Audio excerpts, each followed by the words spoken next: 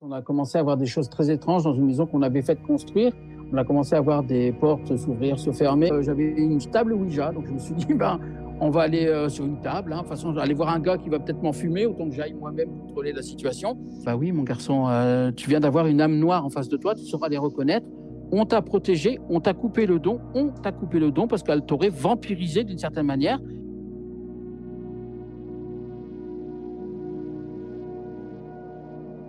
Bonjour à tous et bienvenue. Je suis très heureuse de vous accueillir pour ma nouvelle rencontre.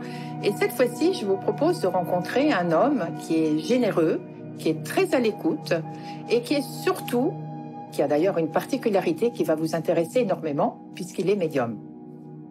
Bonjour Eric. Bonjour Olivia. Comment vas-tu? Ah, Super bien et merci de m'accueillir dans ton émission. Écoute, je suis très heureuse et très fière que tu viennes euh, te présenter exactement. Alors, pour les personnes qui ne te connaissent pas encore, mhm. parle-moi un petit peu de toi. Donc, tu vis aujourd'hui au Canada depuis quelques années, mais tu étais en France avant. Et que faisais-tu avant, de ta vie d'avant? Bah, en fait, effectivement, comme tu l'as parfaitement résumé en quelques, en quelques mots, je réside à Québec City, donc à 5000 km grosso modo de la France.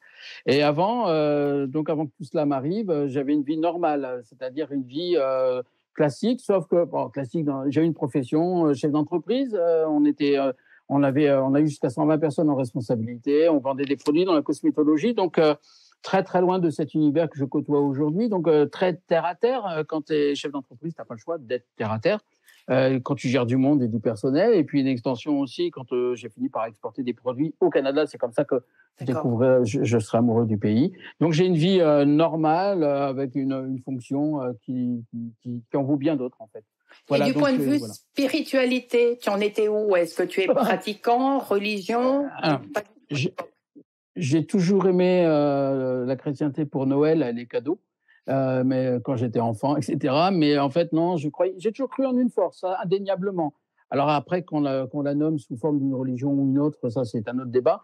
Donc j'étais plutôt, euh, je savais qu'il y avait, je savais, je savais, non, je savais pas, je pensais qu'il y avait une force, mais euh, voilà, j'étais pas, j'ai toujours été curieux de choses comme ça. J'ai toujours regardé par exemple des émissions comme Ghost Adventure euh, qui passaient en France à l'époque euh, sur sur sur TPS, mais sur, oui voilà. Mais surtout, voilà, je, je, croyais à ces choses-là. J'ai toujours cru qu'il y avait euh, des choses qui nous dépassaient, mais je suis pas pratiquant d'une religion, je suis pas croyant plus qu'autre chose. Encore une fois, j'adore euh, Pâques pour les chocolats et Noël pour les cadeaux.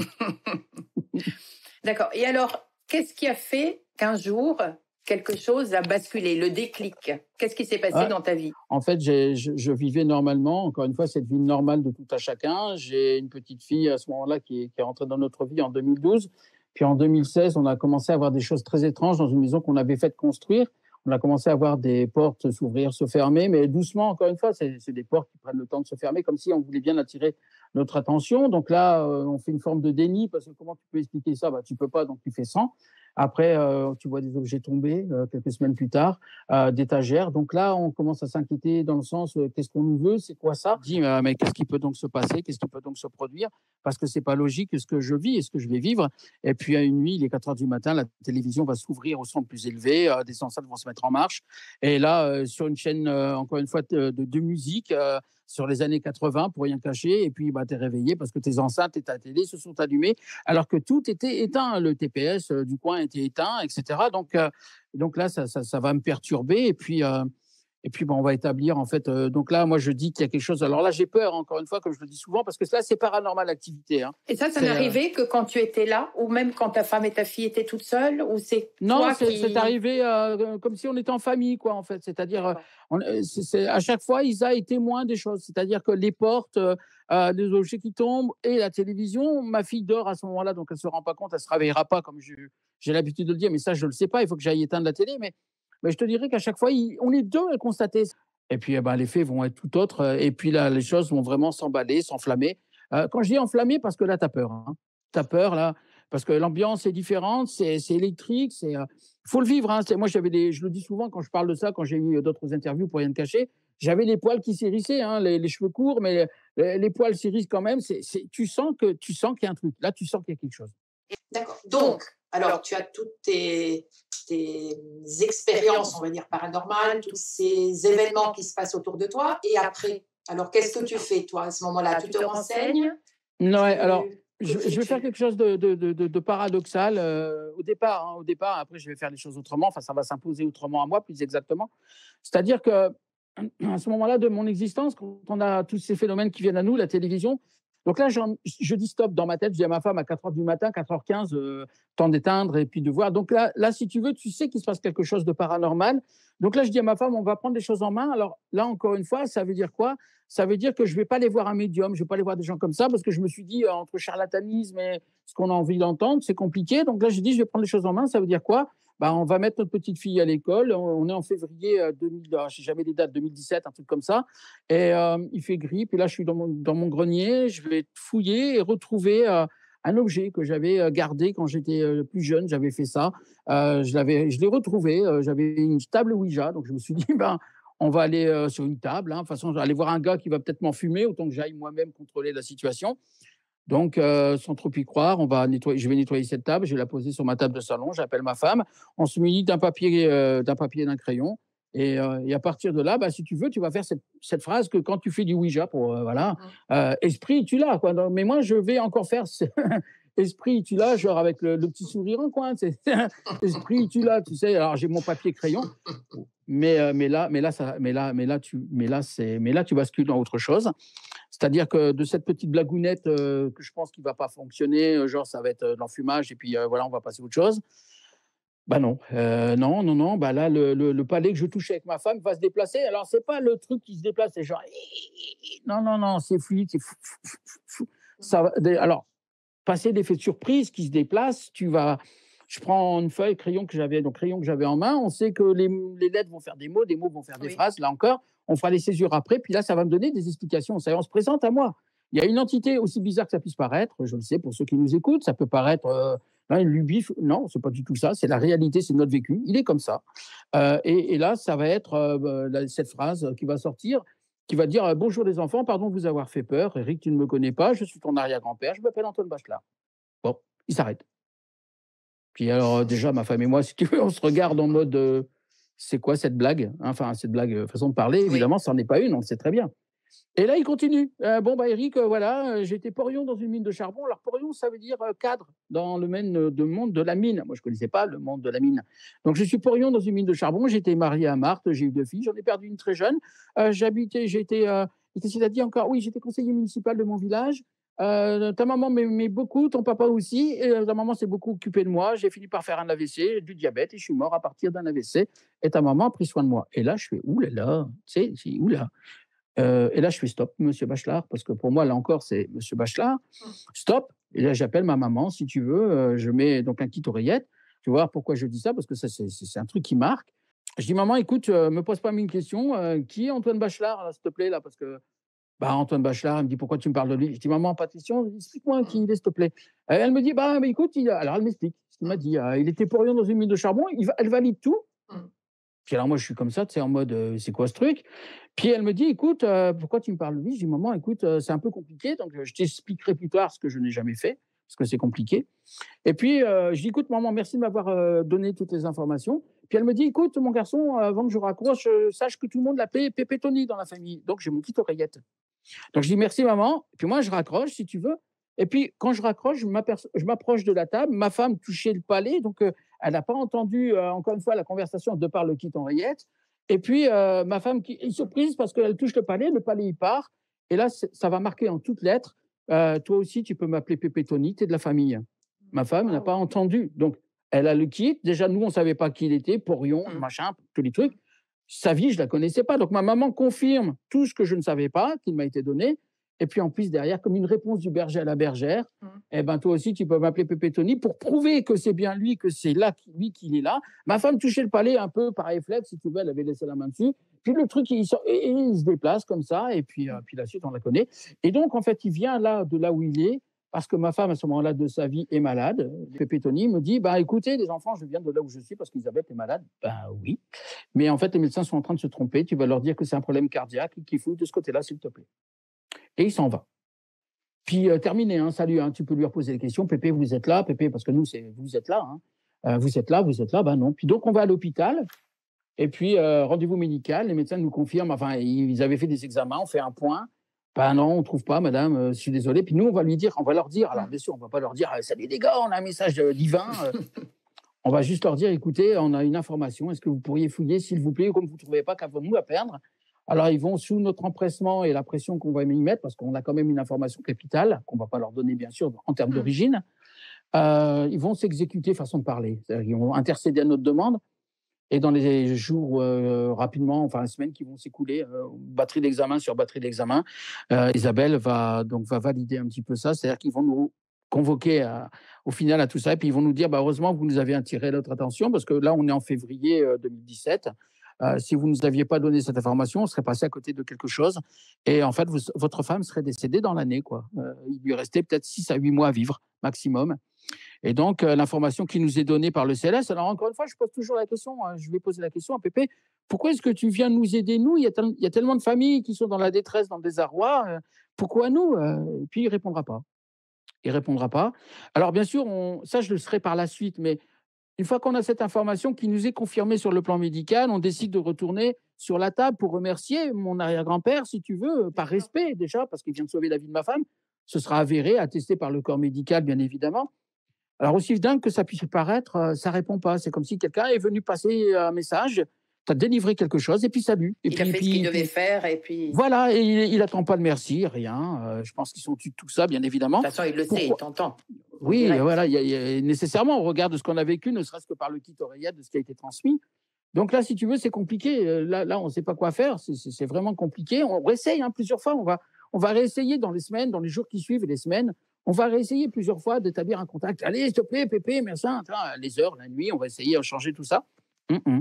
Tu fais comme tu as envie. Donc, ta vie reprend normalement, si tu veux. Sauf qu'à partir de là, juin, euh, ma vie va se dégrader. C'est-à-dire que subitement, ma société qui tourne, j'exporte des produits euh, dans différents pays, j'ai 800 clients. Du jour au lendemain, tu n'as plus rien qui fonctionne. Mais quand je te dis tu n'as plus rien, le téléphone ne sonne plus, c'est comme si tu es coupé du reste du monde. C'est très bizarre. Euh, ça, ça va durer des mois et des mois. Je ne vais jamais réussir à redresser le tir. Et je ne suis pas méchant, parce que je ne suis pas mauvais, pardon parce que j'ai 10 ans d'expérience, donc je suis un petit peu, je suis un cadre commercial, j'ai l'équivalent d'un bac plus 6, donc euh, voilà, je me la pète un peu, mais c'est ma réalité. Puis les résultats économiques étaient là, si tu veux, on est passé à la télévision française, euh, sur, euh, sur France 2, donc j'avais aucune raison, aucun signe indicateur qui me laissait penser que ça allait foirer. Donc ça, c'est la première étape. Puis parallèlement à ça, alors de juin à décembre, ça va être le bordel le plus complet. ma sœur se fait prendre en otage par son ex-homme, mari, qui, parce qu'il pète un câble, il a la menace d'une arme, je fais intervenir le gendarme. En novembre, mon, mon frère fait un double infarctus. Il s'en sort euh, par miracle. Euh, mais euh, on a failli le perdre, on est passé à deux doigts de ça. Enfin, j'ai vu des choses qui, ont, marqué. Puis le 30 décembre, cerise sur le gâteau, donc 2017, c'est bien 2017, euh, le, papa de ma femme, qui était donc malade, déclaré un cancer en 2015, euh, décède, si tu veux, de, cette maladie le 30 décembre. Donc, on finit vraiment euh, l'année gâteau sur la cerise, hein, mmh. dans des conditions que, tout le monde peut imaginer. Donc, on va pas bien, on va vraiment pas bien, on est secoué. Moi, j'arrive pas à dresser ma compagnie. mon frère va mieux, ma soeur se sort de cette situation, mais on est vraiment tiraillé, des huissiers, mmh. des boules à la maison, enfin, ça devient le bordel. Et puis, en février 2018, je balade mon chien. Euh, et puis voilà, je sors mon chien, comme on peut tous le faire. Puis un matin, j'entends une voix qui me dit Bon, Eric, euh, tu vas faire ça, ça, ça et ça. Donc là, je rentre chez moi. Si tu veux, j'entends une voix là cette fois-ci. Hein, Dans ta tête. Là, là, comme si quelqu'un te parle. C'est mon oreille. Euh, ouais, c'est une oreille droite, mon oreille droite, une voix douce, posée, claire, fluide. Masculine. tu ne sais pas trop. je peux pas. Je peux pas. Non, je peux pas dire femme, homme, incapable de dire voix. Alors moi, quand j'arrive chez moi pour cette première, si tu veux, je à ma femme, dis donc, tout semble bien aller parce que j'entends des voix. Tu vois, tout va super bien, je vais bien, tu vas bien. C'est quoi, tu vois. Là, je me dis, euh, tu as atteint d'une maladie schizo, machin. Donc, j'en parle, je rigole, mais pas tant que ça parce que merde. Mais il me donne quand même des détails. Des, des détails me sont donnés de situations que je ne connais pas. Et puis le lendemain matin, toujours ce même chien, toujours ce même parcours, à quelque chose près, parce que je conduis le matin ma petite fille, donc j'ai un rituel, l'heure. Et puis là, il me dit, bon, euh, au même endroit, hein. au même endroit, dans la balade, au même endroit, genre, tu as une vie satellitaire, pam, là, il, va te dire, bon, Eric, non, non, t'es pas fou. Ce que tu sais pas encore, parce qu'on est en février 2018, soit un an après le premier contact, depuis aucun contact, on me dit, euh, ce que tu sais pas encore, c'est que tu iras vivre au Canada, ce que tu ne sais pas encore, c'est que tu vendras ta maison en Alsace et tu vas la vendre ce prix-là. Et moi, je fais, euh, je rentre chez moi. Donc, on est à quelques mois de ça, février, juin, la vente de la maison. Là, je me dis, mais tu peux pas dire que c'est n'importe quoi, c'est précis quand même. Oui. Là, ça pose. Là, je veux dire, passer d'étonnement, euh, etc. C'est c'est pas le truc qui part dans tous les sens, tu vois. C'est pas le truc qui fait nimp. Non, tu dis, euh, mais bizarre comme. Puis, puis derrière ça, si tu veux, je vais commencer à avoir des choses. Là, je vais commencer à avoir peur parce que c'est comme si je touchais un autre univers, un autre euh, chose des doigts. Il y a quelque chose qui commence à me faire peur parce que je sors comme tout à chacun et je commence à voir comme des fantômes. Tu, commences à voir des spectres. Euh, mais ça fait peur, hein, ça fait peur parce que déjà, premièrement, tu n'es pas habitué, pour commencer.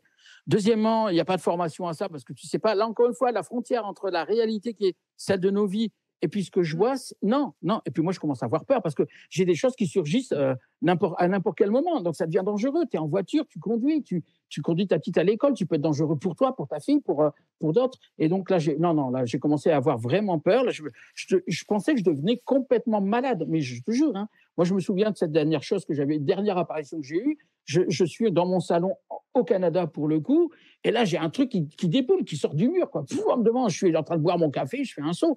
C'est impressionnant. Et, là, et mais le pire, c'est là, je me dis non, là, là, là, ça va trop loin, ça va durer une paire de jours, de semaines, une semaine ou deux. Mais moi, je, je dis à ma femme, je deviens dingue, je deviens dingue.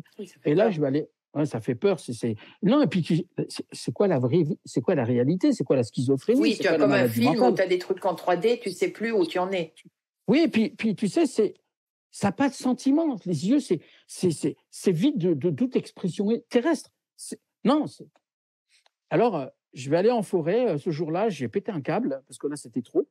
Et là, je suis allé en forêt parce que tu peux pas. Là, comme je le dis souvent, tu peux pas faire ça n'importe où, n'importe comment. Je veux dire, faut pas alerter les, les voisins, dire il y a un mec qui hurle, euh, voilà, qui va pas bien. C'est pas ça que je veux.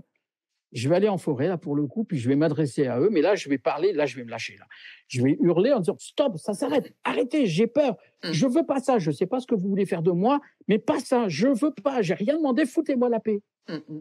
Non, j'ai dit si, qu'est-ce que vous voulez Qu'est-ce que mais, pourquoi moi Pourquoi maintenant Pourquoi comme ça? Enfin, je veux dire, je suis cartésien et un, ça fait deux. Je suis juriste de formation. Je tiens à le rappeler. J'ai un vécu professionnel qui m'amène très loin de ça. On est un groupe. Le groupe que, mmh. j'avais a fait sur quatre années 30 millions d'euros. Donc, j'ai pas le temps de m'occuper de ces conneries-là. Quoi. Mmh pardon, mais j'ai pas le temps de ça. Je, je me la pète pas. C'est une réalité économique qui est la nôtre.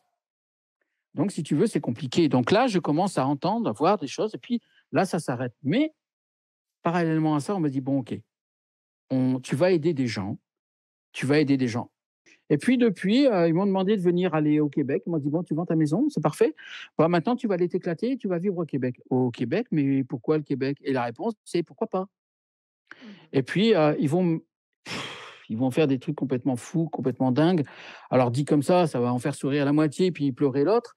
C'est-à-dire que ben, je vais commencer, par exemple, mais je vais où, Pépé, euh, au ah Québec T'es gentil, là? je vais un point de chute, eh ben, il est 22 heures, on est dans ma chambre chez ma belle-mère, on a un bureau qui est sur le côté.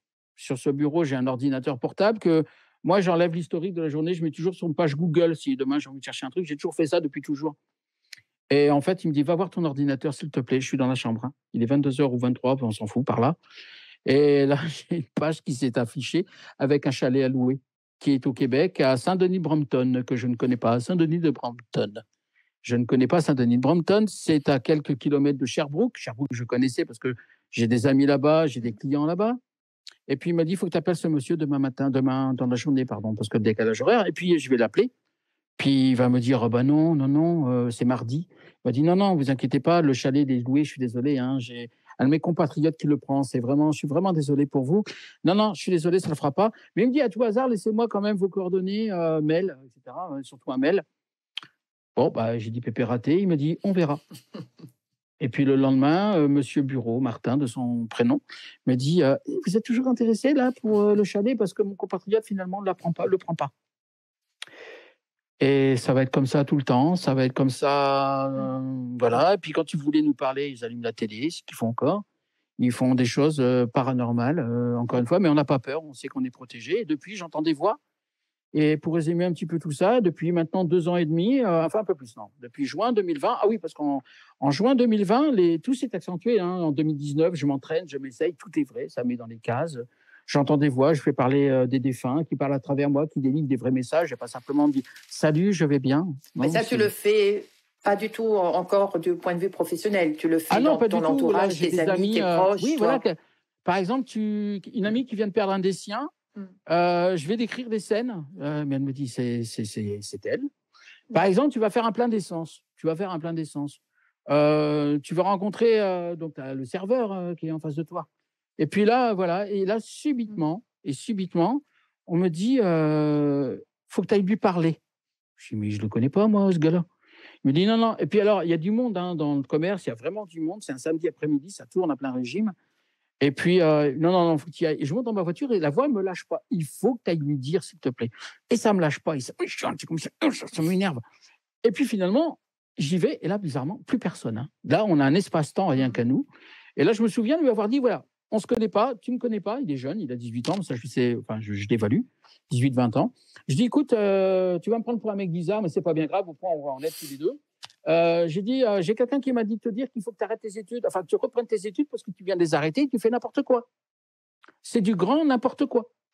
Et il me regarde, tu sais, mmh. mais je le connais pas. Oui, comment il le sait mais comment, mais comment vous savez ça? Je dis, je ne sais pas, on vient de me le dire. Alors tu vas me faire le plaisir de reprendre tes études parce que tu es doué pour ce que tu vas faire et tu vas vraiment t'éclater. Ne me pose pas de questions, c'est comme ça. Salut, moi je m'appelle Eric.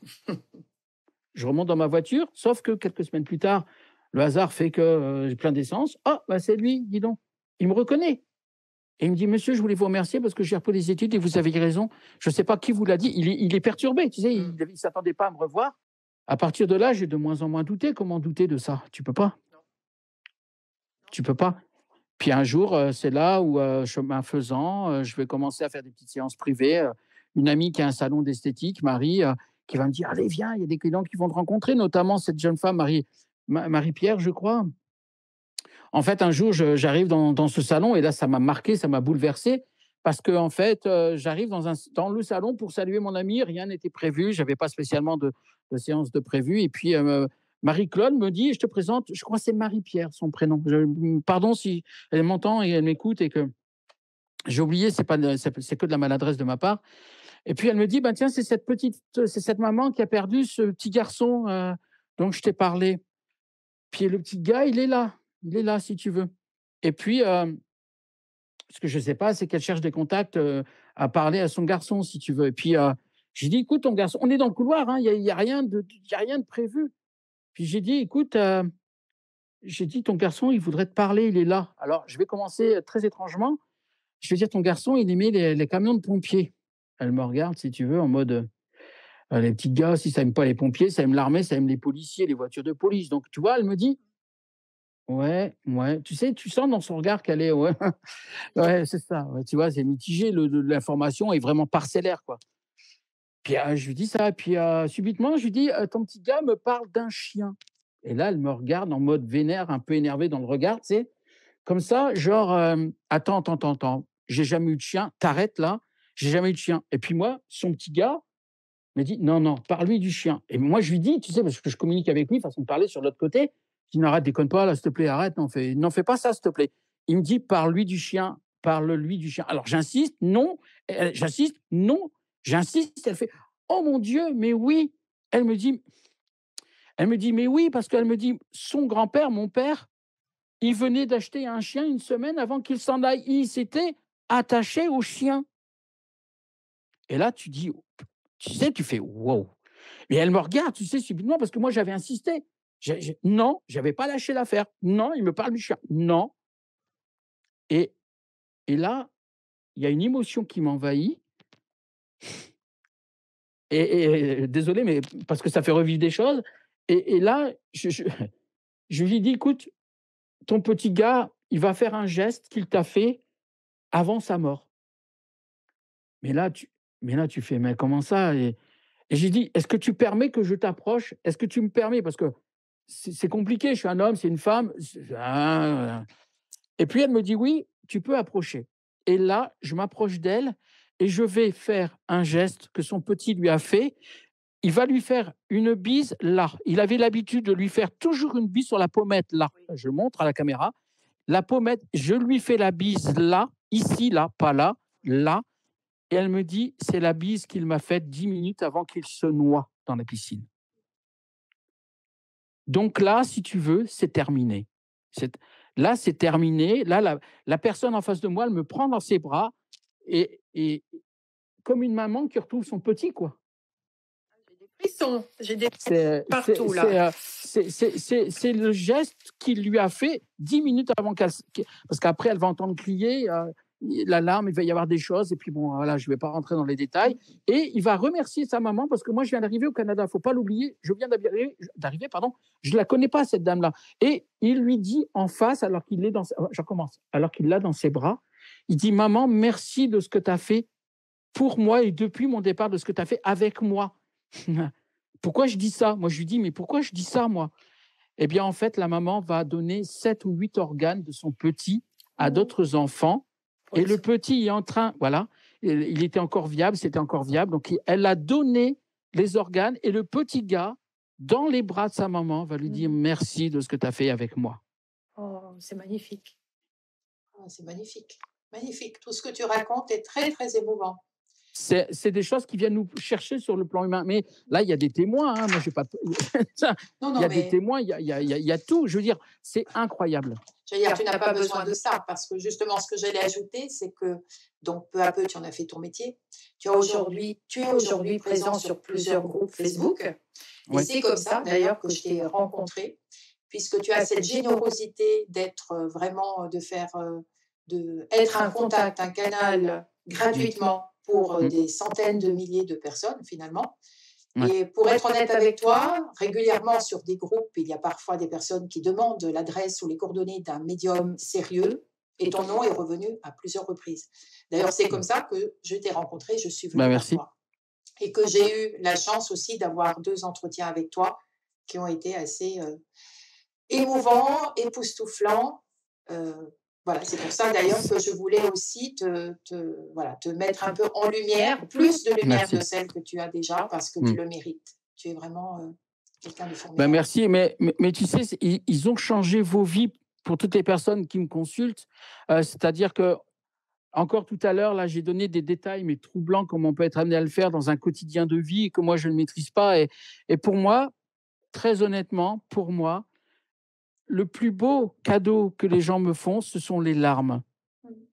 C'est pas de. Je te fais un beau cadeau alors. Je suis pas. oui, non, mais c'est des larmes de bonheur. C'est-à-dire que quand on passe du rire, quand on passe de la tristesse au rire, au rire parce que ils sont avec leur trait de caractère, ils ont des mots, hein, ils, ont, ils ont de la finesse, ils ont. je ne sais pas comment en parler autrement parce que il y a, il y, a, il y a 462 lives aujourd'hui sur des réseaux. Sur... Alors, ce n'est pas de la prétention, ce n'est pas de l'arrogance, je m'en tape, je n'ai pas besoin de ça. C'est tout simplement des messages délivrés. Effectivement, euh, cumulés, j'ai dû cumuler euh, tout simplement euh, près de 12 000 ou 10-12 000 messages, si tu veux, sur 400 lives. Alors, il y a autant de témoignages. Je t'interromps, mais voilà, comment fais-tu, parce que c'est assez surprenant en fait quand on t'écoute, tu, euh, comment fais-tu Alors, est-ce que déjà tu te protèges parce que tu as une vie privée, donc tu ne peux pas être non plus disponible 24 heures sur 24 mmh. déjà. Et deuxièmement, comment fais-tu pour passer, euh, tu vois, de l'un à l'autre, d'un enfant à la femme, au grand-père, et voilà, comment ça se passe en fait? Tu as toujours la même voix qui te parle ou c'est une voix différente? Non, c'est toujours la même voix, c'est toujours les mêmes sensations. Euh, quand je suis connecté à quelqu'un, c'est-à-dire euh, quand. Alors, déjà, chaque médium a sa manière de fonctionner. Euh, ma manière à moi, qui ne correspondra pas forcément au copain d'à côté, c'est pas grave, et vice-versa d'ailleurs, c'est que j'ai toujours la même voix d'un côté. C'est-à-dire que moi, je lui parle, il m'entend, j'échange avec lui comme si j'avais une oreillette euh, si tu veux. Donc, quand je suis pas d'accord, que je vous demande des précisions, il le fait comme s'il m'entendait d'une certaine manière sans que j'ai besoin de verbaliser des choses à haute voix. Donc, si tu veux, je le fais intrinsèquement, je ne sais pas comment je dois le dire, interne, intrinsèque, interne, je, en télépathie. Et puis, de l'autre côté, j'ai la réponse qui tombe. Mais au-delà de la réponse, il y a aussi quelque chose qui m'a surpris et qui surprend sur les lives, parce que là, c'est validé aussi dans des séances privées, évidemment, mais aussi dans des visuels où c'est filmé où je vais faire des gestes, hein, je vais faire des mouvements de défunt, c'est-à-dire que je vais être capable, par exemple, de faire une profession, de mimer une profession, de, mimer quelqu'un qui a une bûche, euh, qui va aller bosser euh, et qui va y aller comme ça, de quelqu'un qui joue de la tricote, qui, tricote, de quelqu'un qui va scier du bois.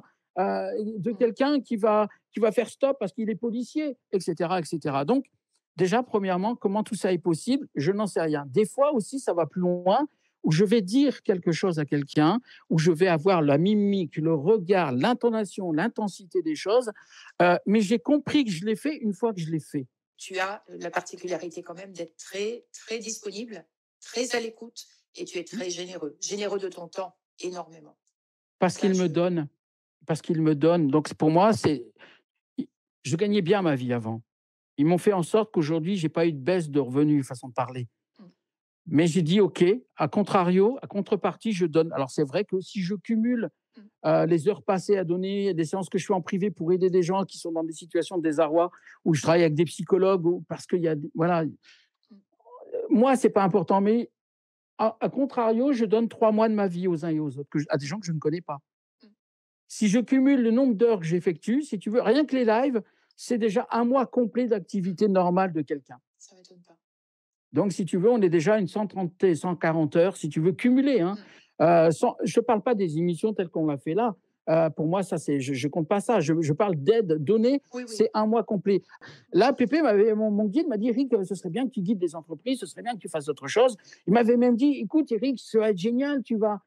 J'ai dit non, non, non, non, mais Eric, euh, tu as un boulevard devant toi. Ouais, mais j'ai un libre choix et je ne le ferai pas. Oui, tu as parlé de ton pépé à nouveau.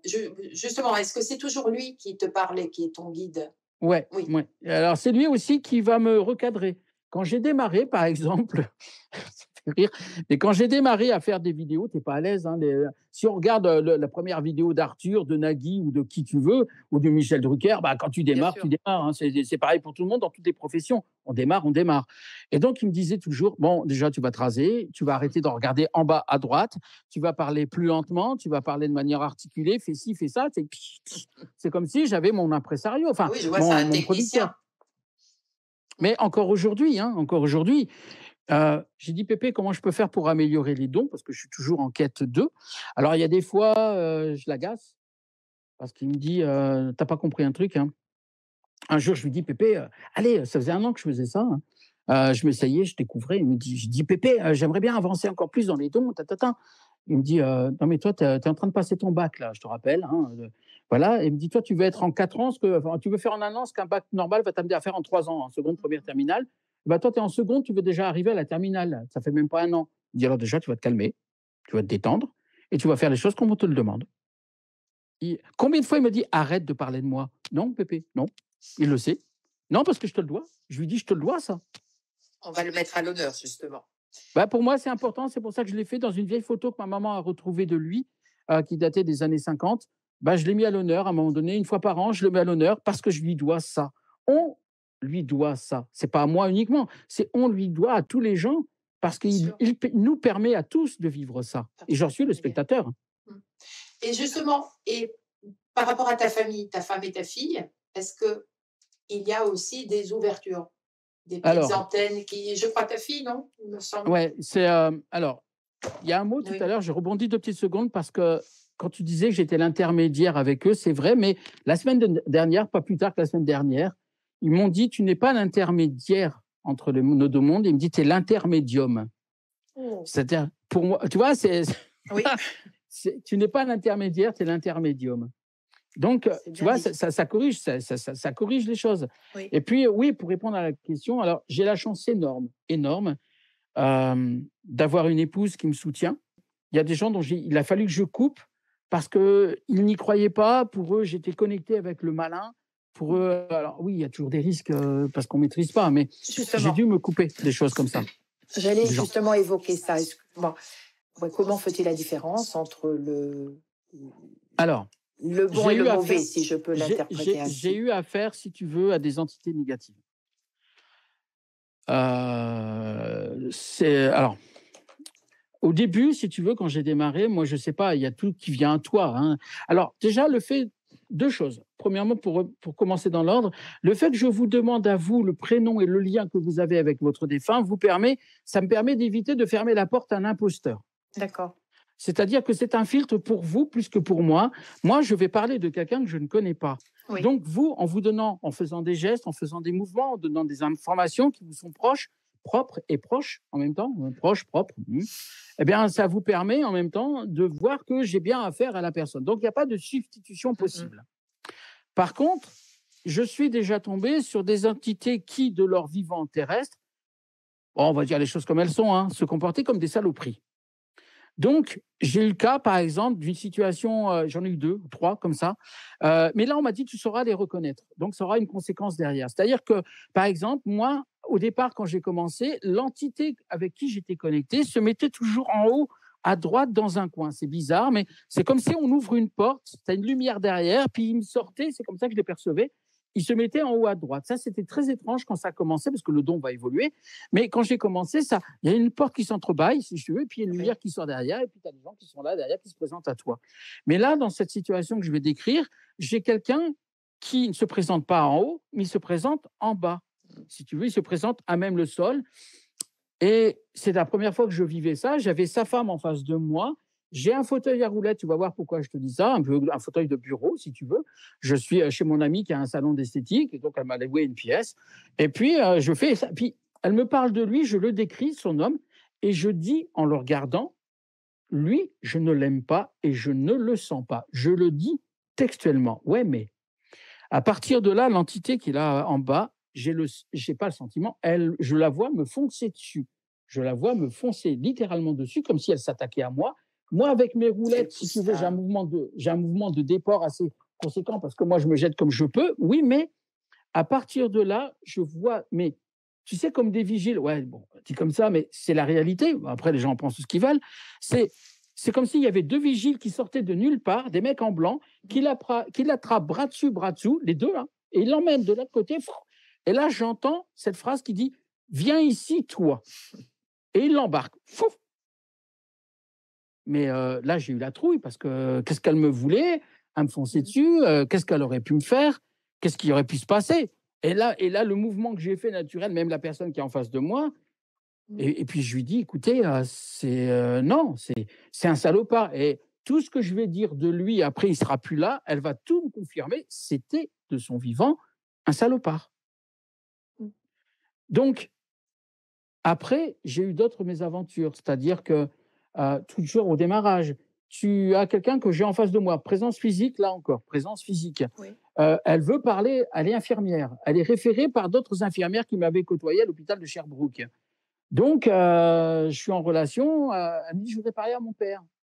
Et là, la porte s'ouvre, façon de parler. Il se présente dans le coin, il croise les bras, comme ça. Il dit Non, j'ai rien à lui dire à elle. Hein? Mmh. bon, je dis Tu sais, je suis surpris parce que moi, je ne suis pas habitué. Puis euh, j'ai écouté, j'ai un problème technique. Hum. Euh, vous voulez parler à quelqu'un d'autre? Oui, j'aimerais bien parler à ma mère aussi, s'il vous plaît. Puis elle ouvre, elle apparaît, elle se met à côté de son mari, elle croise les bras. Je n'ai pas envie de lui parler à elle, mais euh, je ne comprends pas ce qui m'arrive. Puis là, j'ai écouté un problème technique, euh, j'arrive pas à rentrer en contact parce qu'ils me disent, tu leur dis, tu, lui dis pas ça, s'il te plaît, tu lui dis juste pas ça, tu as un problème technique, tu vois. Et puis là, elle me dit, bon, bah, écoutez, moi je suis venu quand même pour une séance, bah, alors parlez-moi de mon garçon. Son garçon qui est en vie. Ouais, mais là, mon don à moi, il a perdu sa boussole. Il va dans tous les sens. Hein. Là, je te jure, c'est un truc de malade. Euh, son garçon, alors, il, m'est présenté à moi subitement blond, puis roux, puis brun, puis, puis châtain, puis les cheveux verts, les cheveux bleus.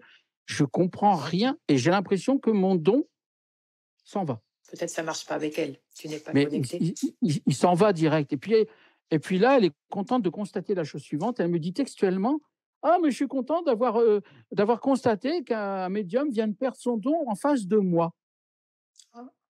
Mais je comprends pas son attitude. Qu'est-ce que tu me veux, toi? Et puis, là, mais là, je suis à poil. Hein. Je me sens nu, à poil. je, sais que mon don, il vient de se barrer. Je rentre chez moi. Et pour la première fois depuis des mois et des mois et des mois et des mois, je vais recontacter Pépé par la tabouja qui sera là. Parce que j'avais plus fait, j'ai plus besoin. Hein. J'avais embarqué cette table quand même.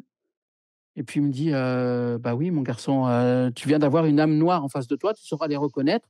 On t'a protégé, on t'a coupé le don, on t'a coupé le don parce qu'elle t'aurait vampirisé d'une certaine manière. Et il me dit, tu sauras les reconnaître. Et pendant trois jours, mon don a disparu. Il est revenu, connecté. Je suis capable de faire du profilage. Tu me donnes un prénom, je vais te donner psychologiquement les traits de caractère. Je travaille avec des ressources, des gens dans les ressources humaines, si tu veux, dans les entreprises qui, encore une fois, je le disais dans d'autres interviews, où je vais donner, je vais décrire le caractère de quelqu'un. Euh, par, par, exemple, à, à compétences égales, ils ont trois choix à faire. Ben, je vais dire, elle, elle est comme ça, elle est comme ça à titre personnel. J'ai déjà réorienté ou orienté des, enquêtes de gendarmerie en disant, ah, papa, lui, te ment, machin, parce que j'ai dans, les gens qui m'ont contacté, il m'est arrivé d'aider ponctuellement, ponctuellement, je le dis bien, euh, des gens qui me disent, écoute, Eric, je suis gendarme, là, j'ai une affaire, euh, celle-là, on la sait pas, si je te donne ce prénom, qu'est-ce que tu en penses? Puis là, je réoriente et j'ai tapé dans le mille. Tu vois, donc ça s'appelle du profilage. Puis après, je fais des choses qui sont euh, qui sont. Alors là, je n'explique pas du tout, euh, non plus, hein, pas plus que le reste. C'est-à-dire que je vais te dire qu'est-ce qui s'est passé dans ta vie à cet âge-là. Je ne sais pas nécessairement ce que c'est, mais je vais dire quand tu avais 8 ans, quand tu avais 10 ans, quand tu avais 15 ans, quand tu avais 21 ans. Et ce sont des choses qui ont été vécues ce n'est pas forcément des drames, mais c'est des choses que les gens ont empilées, des situations qui ont des chocs émotionnels. C'est comme ça que j'ai enlevé 14 ans de TOC à quelqu'un. Là, j'ai quelqu'un, euh, j'ai enlevé oui, 14 ans de TOC. J'ai enlevé 3 ans de douleur euh, que les médecins ne comprenaient pas à, quelqu'un qui n'arrivait plus à marcher. Euh, voilà, qui avait des gros problèmes de santé, qui avait dépensé 14 000 dollars. Et quatre séances plus tard, c'était un deuil qu'elle n'avait pas fait par rapport à son père. Et on a mis le doigt dessus. La première séance, elle m'en veut parce que les douleurs sont amplifiées. Elle voudra même annuler. Ben, J'ai dit, si c'est amplifié, c'est qu'on a trouvé. C'est une réponse. Et puis, euh, puis aujourd'hui, cette personne galope, plus d'antidépresseurs, plus fauteuil, plus rien. Et puis, mais ça, c'est un détail. Il y en a plein des comme ça. Euh, aider des gens qui ont, vécu, un inceste, un viol, euh, des choses pas cool. Ça, c'est des choses que je fais. Je ne suis pas psychologue.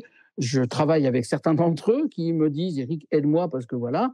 Euh, c'est comme parler à quelqu'un qui va être sur le point de se suicider. Je me souviens de quelqu'un qui me qui crie au secours, un psychologue qui me dit écoute, Eric, là, j'ai l'impression que la personne va passer à l'acte.